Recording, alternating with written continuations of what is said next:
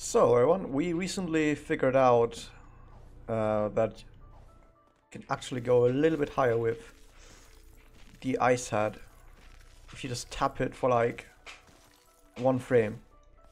And if you tap it for like one frame, you get a little bit higher than usual. Now, this is fairly precise as you can see, because obviously tapping it for just one frame is not very simple. Now I'm running this on 120 FPS, because I think if you get more FPS, you also go a tiny bit higher, though that's really just conjecture at this point. In case it does work similarly to uh,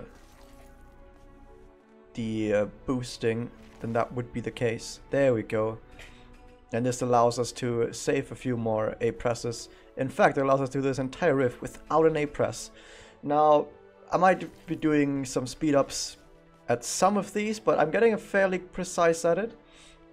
If I ever take too long, of course, I will speed up the video a little bit. Some speedrun strats right here, because why not?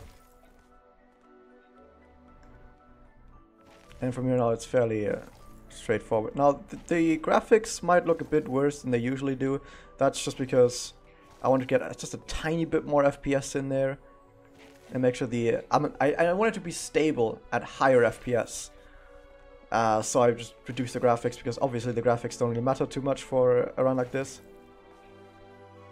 Now just tapping it, like I said, just tapping it for a frame is obviously not very simple, especially because it's on this button down here, and this is a button that you need to press in a little bit for it to get to work. If it was a button like the Y button, for example, I think it would be very e a lot easier to press it for just one frame, but that's just me.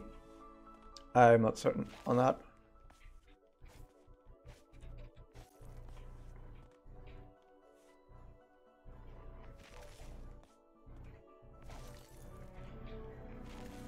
Now I know you can jump over to this side, which is what I did in the last video, but if I fail this, which is very likely because this jump to that side over there is fairly precise, I'll have to do this jump again, so might as well just do it this one.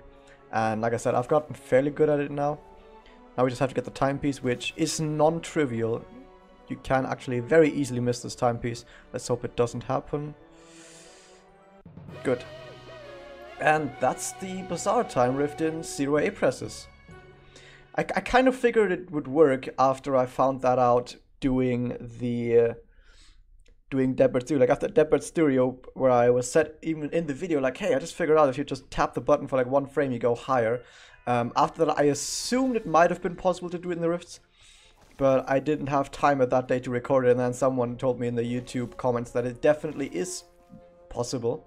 So I went in and checked it out, and yeah, it definitely is possible. So yeah, that was that. Next up, we have the other Rift.